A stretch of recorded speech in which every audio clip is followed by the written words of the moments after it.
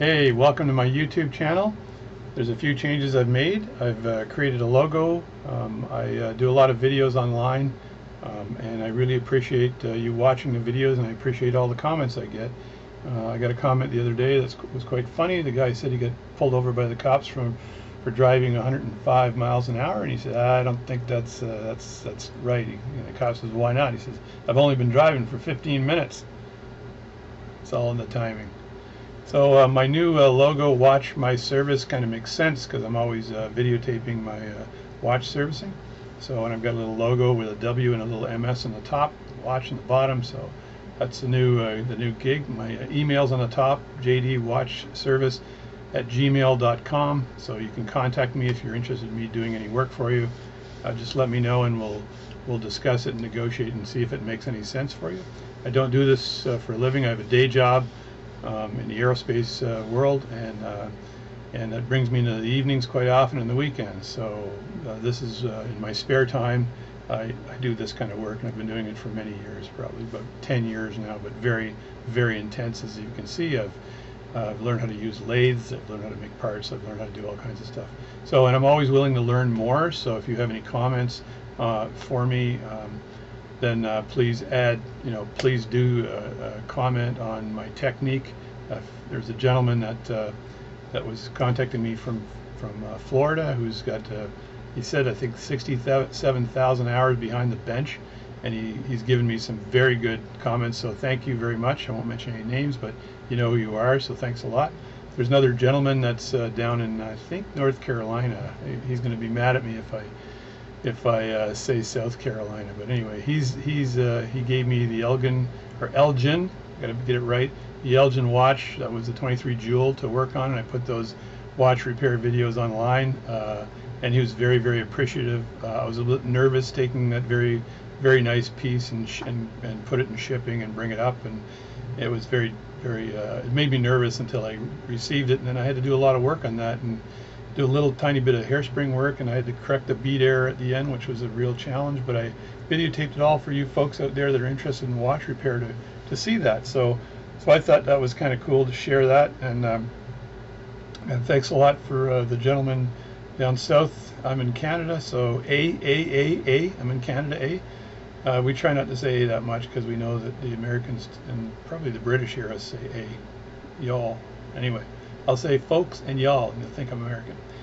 Anyway, so uh, th those gentlemen have been very good. There's another gentleman in the UK who sent me a uh, 21 jewel watch for me to to uh, work on, and he really wanted the balance uh, staked onto the staff, but the staff turned out to be the wrong staff. So he and I are uh, chatting about what to do. I'll probably end up making a staff for him, and uh, I also told him that I don't do this for a living, so I won't rob you. Don't worry about that. So so I'm going to be, uh, I, I need to make a staff anyway because I need to make sure my skills are good in staff making. It's tricky, and, but I've done quite a few over the years. So, so uh, the videos I'm making now also include different views. So now I've got a, uh, a close-up view, as you can see over here on the left-hand side. Um, I've got a Waltham 25 Jewel automatic here that I'll be working on and making a video. So I just I'll leave this as the intro video, and you guys can comment and I won't make it a, a one hour long video. Um, so this close-up view is using a high definition camera that's very close to the uh, watch itself. And then up there I've got a um, another camera that's uh, pointing at uh, the overall bench. So this is a Horotec uh, bench that's on my desk, so it's a portable bench. Uh, they'll run you about 550 US. I think I paid a thousand bucks because I got it from the UK, so I wouldn't get nailed at the border uh, with uh, duty. So I got this from the UK. It cost me around a thousand bucks, which is it's to take a lot of watches to fix to make up for that. But don't worry, I won't be passing those charges along. Uh, as I said, I still work for a living, but my plan is is to retire someday, and then I'll get into this more more seriously as a uh, as just a hobby that I can make a few bucks on the side with. So, but I love and I love sharing my videos. Um, as you can see in the back, that's a Fender Strat. It's a Strat Plus guitar, which is a really nice guitar. It's got uh, lace sensor pickups on it. Um, should I pick that up right now? Uh, it's just a high video anyway, so I'm going to pick that up and show you. So that's a, a really nice Fender Strat guitar. It's um, got that in 1990, and I've been playing for years. I actually have some videos on YouTube with me playing guitar. Um, And so if you want to watch some of those, you can find them on there. And I got a couple amps stacked up, and there's I laid out curtains because behind curtain number one there's an amplifier. Behind curtain number two there's lays over that way, and and books further down and stuff like that. So anyway, that's the uh, that's the guitar in the background. So these scenes that you're seeing up here are going to be good because I'll be able to do just a general intro on what I'm doing. Um, so when I start uh, with servicing this Waltham watch, um, I'll make this all about the Waltham and not this introductory video. So, so the second look I can uh, come come up with here is the general work. So here you see the bench again, and then up in the corner you see the uh, the uh, Waltham watch in the close-up, and then I put my logo on the top, so you guys will get used to it, and I'll just keep using that logo. Uh, and then if, when I go to close-up work, I can flip over to close-up work, and just it just shows the close-up work as I uh, as I proceed, um, and that's pretty handy. So the lighting is needs to be changed occasionally, and then and the last thing is uh, when I flip over to showing what the watch escapement analyzer and timer might be doing, I can flip like that. Um, disregard these lines. These lines are actually from use of a an LED light that I have and if you probably measured the frequency it would be probably 60 hertz so when I turn that light off or down those line, lines end up going away so if I did this uh, you'll see there's no more lines right so and if I put a watch under there with a mic you'll see the the pulse go. So we'll we'll do that later. I did a video on that uh, as you can see there's and I can use my mouse on that to show you. So there's the mouse running around here um, and that gives the rate uh, the uh, there you go. So that's the rate and the amplitude and the beat error.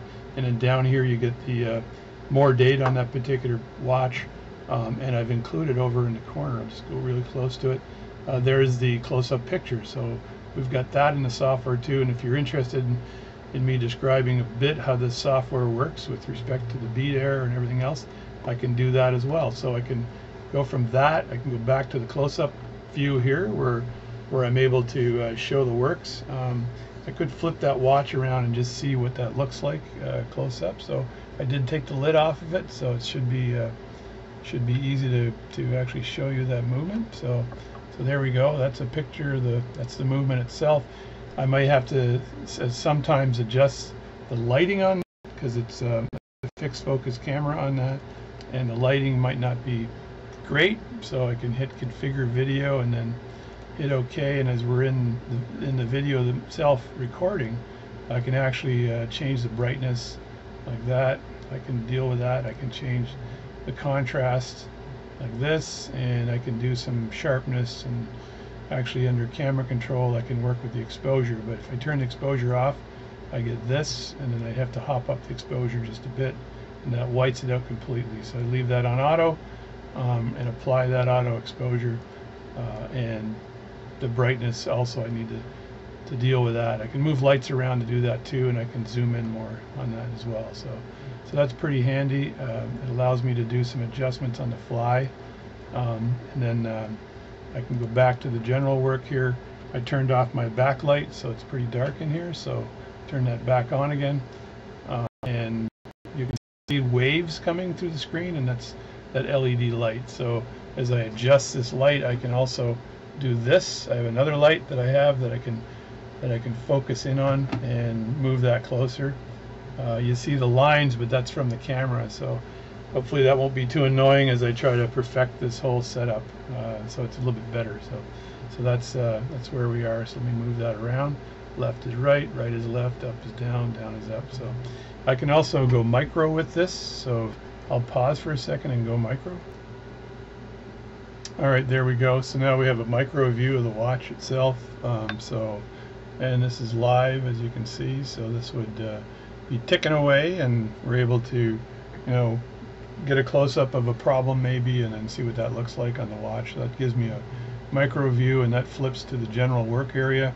I turn my light off again, but I'll make sure that that's that's right because uh, I need the exposure to be correct on that and again I can change the lighting of that I'm in OBS the uh, the uh, software I'm using so I'd have to go to my camera here and then configure that as well and I can do an auto brightness on that and do a contrast see if we pick up the contrast a bit or turn that down a bit actually. Turn down the contrast and the saturation is there and under the camera control uh, focus and exposure I got on automatic uh, exposure I should probably have it on automatic so so there we go. That's a really good exposure there.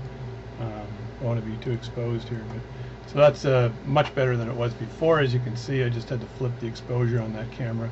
And again that's get gets my watch my service. So and then when I go to this as well it holds the uh, the settings I had before. Um, so they're, constantly uh, uh, I change them one place and then the setting holds. So this is pretty good. So let me flip this watch around again. So that's the uh, the Waltham and that's up close. So just able to move the the camera a bit just to get a better close-up of that. So so that's the setup. Um, so again intro general work is like this um, close-up work.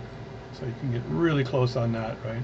And when I want to get the e-timer going and again I got the uh, 60 hertz lines happening here so when I when I give you uh, when we do the timing I can have that backlight turned off so I won't get the 60 hertz happening. So the uh, these LED lights uh, I should probably just use candles you know be much better so uh, so anyway again um, I really appreciate comments on my on my YouTube uh, videos if you have any um, requests for me to make a video on doing something um, I've, I've done a lot of videos on different techniques. Uh, I've actually made a crown on my lathe. Uh, I've made a few stems, not a lot of stems, but I've made a few. It's tricky, so when, whenever I have to make another uh, uh part or whatever, I do a little research.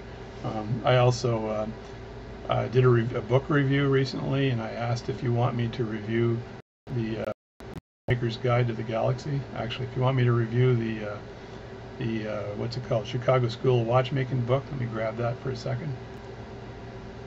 All right, that's this book right here. That's a big, big book. I'm telling you, it's loaded. So this book is uh, exceptional. It's got all kinds of cool stuff in it, right? So this is the uh, Chicago School of Watchmaking book that I just acquired, and and I acquired the Bulova one as well because I wanted to make sure I wasn't missing anything. I've got some technique on that for uh, a shellacking jewels. I got the Bulova one, I believe, and they both had sections on beat error, but the Bulova one was more comprehensive on setting beat error. Also, the Bulova one has a, a better explanation on on how to how to set the banking pins. So if you've got an old watch, you're able to they, they rotate, and if you're able to set banking pins, it tells you actually how to set them to the drop and things like this. So so anyway, if you have any recommendations for videos that you want to want me to do, then by all means let me know um, and I'll work on those. Um, and so for now, uh, I don't think I've got anything more to say. Uh, I don't have any more jokes. I did tell you the joke about the guy that got caught speeding, didn't I, earlier? It's a memory joke. So, yeah, he got caught speeding, and the police officer said, you realize you were going 105 uh, miles an hour? He goes, he goes, that's impossible. And the cop says, why? He goes, well, I've only been driving for 15 minutes. Ah! So anyway, uh, so that's that's it. So uh, this is a new format. So this afternoon, I probably won't start any watches this afternoon because I gotta I gotta uh, play golf. I gotta do some golfing today. So um, it's actually video golf. So I'm cheating because up here in Canada we've got snow and cold. It's minus everything today. It's minus it's minus a thousand today in Canada. So so it's it's so cold, so cold I saw that them chiseling a dog off a fire hydrant. That's how cold it is up here. It's so cold. I saw a lawyer walking down the street with his hands in his own pockets. That is cold. So we're giving up. We're giving up up here. It's way too cold. Um, we don't want to fight this battle. Even the Salvation Army surrendered. It's so cold out. So anyway, that's enough humor for now. So let me know if you like my channel, my new look. Uh, and uh, this makes it a little bit more, uh, probably more professional. Again, again, I don't do this for a living, but if you want to get a hold of me for any uh, any uh, watch work you're interested in me doing, we'll talk. Uh, just contact me at jdwatchservice at gmail.com. Um, and someday when I retire, I'll do this full time. But for now, it's weekends and and whenever I got some time. So I have a full time day job that runs into the evening. So that's it. Thanks. So that's it. Thanks for watching. I noticed that my OBS software sometimes stutters. So when it stutters the video, it probably stutters the audio. And I'll just repeat what I have to say and, and hopefully it won't stutter. So, so that's that's it. Uh, so thanks for uh, watching this uh, short and really exciting video on my setup, um, and I'll see you really soon.